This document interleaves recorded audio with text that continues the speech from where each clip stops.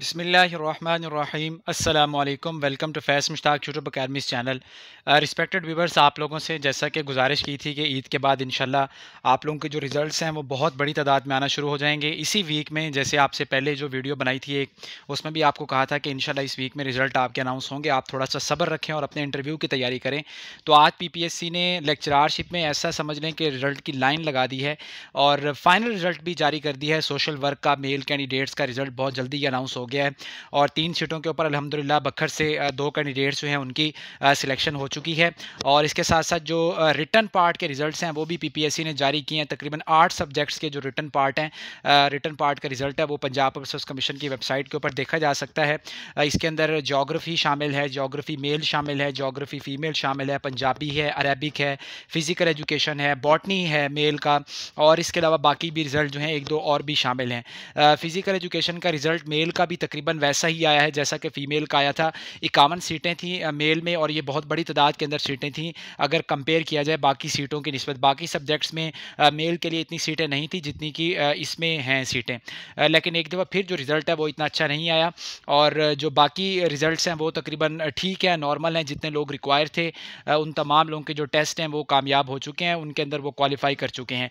Interview की आप लोगों ने बड़ी अच्छे तरीके से तैयारी करनी है। अब नीचे आप लोगों ने कमेंट में पूछना है कि इंग्लिश का रिज़ल्ट कब आना है, मैथमेटिक्स का रिज़ल्ट कब आना है, एजुकेशन है, बायोलॉजी है, कंप्यूटर साइंस है, बाकी सारे मजामी हैं। तो इन एक कल का दिन है आपके पास इन वर्किंग डे है, कल भी इन काफ़ी रिज़ल्ट अनाउंस होने हैं और फिर जो बके रिज़ल्ट हैं इन वो नेक्स्ट वीक के अंदर भी काफ़ी रिज़ल्ट अनाउंस होंगे। तो आप लोग बिल्कुल भी इस हवाले से परेशान ना हो पी में ये काम बड़ी तेज़ी से जारी है।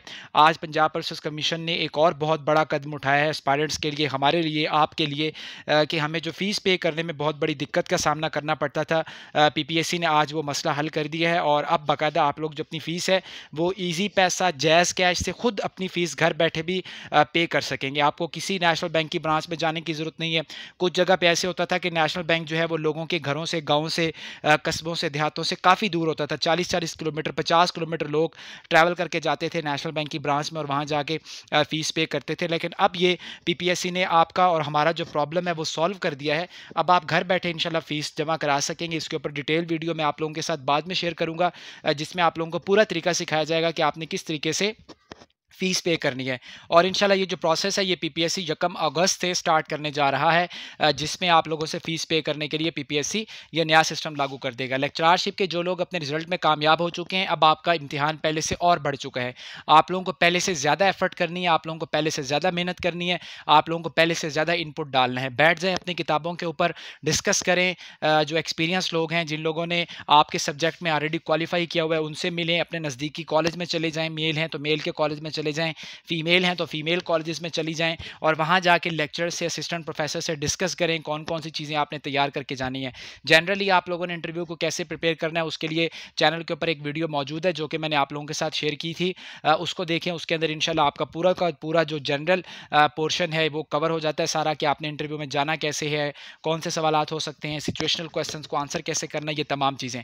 बाकी जो सब्जेक्ट है आपका अपना वो आपने खुद बेहतर करना है। और मेरी बात याद रखें कि अगर आपका इनशाला सब्जेक्ट बेहतर होगा प्लस आपके अंदर थोड़ा सा कॉन्फिडेंस होगा, आपने इनपुट डाली होगी, अल्लाह ताला से मांग के जाएँगे तो इनशाला आपको ज़रूर कामयाबी मिलेगी। ये बहुत जल्दी से प्रोसेस एक दफ़ा फिर निपटाया जाएगा इनशाला तमाम रिज़ल्ट जो हैं ये जल्दी आ जाएँगे और फिर उनके बाद जो फाइनल रिज़ल्ट हैं वो भी इनशाला साल दो हज़ार बाईस में ही कंप्लीट हो जाएँगे।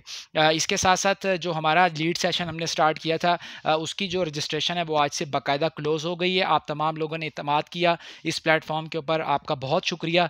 इन आप लोगों को इस प्लेटफॉर्म पर अतमाद करके बहुत कुछ सीखने को मिलेगा और हमारी कोशिश होगी कि आप लोगों को बेहतरीन तैयारी करवाई जाए और बेहतरीन तरीके से गाइडेंस करवाया जाए। आप लोगों से इतने टेस्ट लिए जाएँ, आप लोगों को इतनी अच्छी तैयारी करवाई जाए कि जब आप टेस्ट सेंटर में बैठें तो आपके लिए वो कोई नई चीज़ ना हो, कोई हवा ना हो कि ये क्या हो गया, किस किस्म का टेस्ट आ गया। आप लोग जितने टेस्ट देंगे, उतनी ही बेहतरी होगी और हमारा सिस्टम जो है वो टेस्ट के ऊपर बेस्ड है। जैसा कि आप लोगों से पहले भी डिस्कस किया था और हमने टेस्ट का जो प्रोसेस है वो स्टार्ट कर दिया है। इन अब लेकिन रजिस्ट्रेशन क्लोज़ है तो मैं, मेरी माजरत है तमाम उन लोगों से जो अब रजिस्ट्रेशन करवाना चाहते हैं, क्योंकि रजिस्ट्रेशन के लिए बहुत टाइम दिया गया था, दो जुलाई, तीन जुलाई से टाइम दिया गया और आज इक्कीस जुलाई आ गई है। तो काइंडली आप लोग अब जो लोग रजिस्ट्रेशन करवाना चाहते हैं, वो नेक्स्ट सेशन का इंतज़ार करें। इन नेक्स्ट सेशन में तमाम लोगों को ऐड कर लिया जाएगा। अब इस इस सेशन के अंदर मज़ीद रजिस्ट्रेशन करना पॉसिबल नहीं है, क्योंकि वो फिर चीज़ों को मैनेज करना हमारी टीम के लिए प्रॉब्लम होता है। वीडियो को लाइक करें चैनल को सब्सक्राइब करें। मजीद अपडेट्स के लिए अपना बहुत ज़्यादा ख्याल रखें। जी, अल्लाह हाफ़िज़।